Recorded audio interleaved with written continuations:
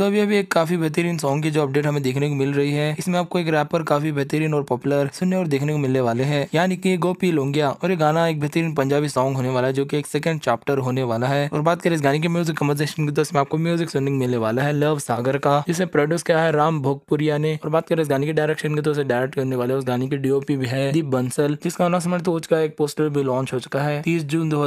को और बात करें इस गाने की रिलीज डेट की तो गाना आपको छह जुलाई दो को देखने को मिलने वाला है